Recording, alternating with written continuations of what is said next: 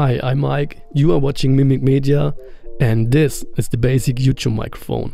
LOM sent me a matched pair of the basic Ucho mics, together with two Rycote Baby Ball windshields.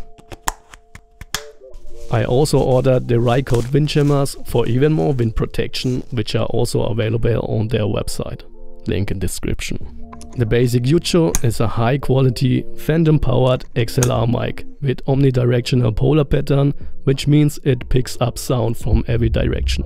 Self noise. Self noise is the signal the microphone produces even when no sound source is present. These microphones have very low self noise with about 14 dBA and the signal to noise ratio is 80 dB. Microphone sensitivity. Sensitivity is a measure of how much voltage a microphone will output at 1 kHz when placed at a specific distance from a 94 dB sound source. And with minus 24 dB they are super sensitive. Even more sensitive than the Clippy EM272 which uses the well-known Primo 272 capsules. Speaking of capsules, the basic Ucho mic got the EM2504 capsules covered in 3D printed housing made of PA11 nylon. The capsules are exposed, which makes them susceptible for wind and radio interference. So make sure to get some proper wind protection like the Rycote I showed you before. And keep away your smartphone during recordings to avoid that nasty bep sound.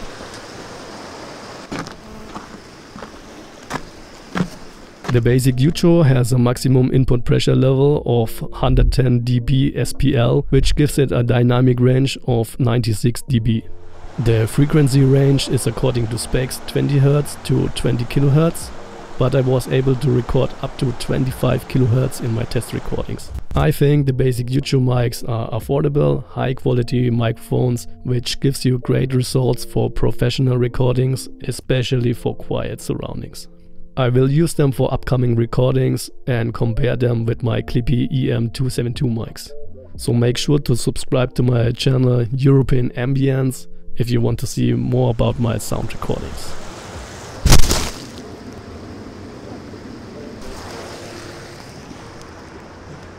Fuck. And now I show you some examples I've recorded with the basic Ucho microphones. If you have any questions, drop them in the comments. And if you find this video helpful, please leave a like for the YouTube algorithm. See you next time. Peace.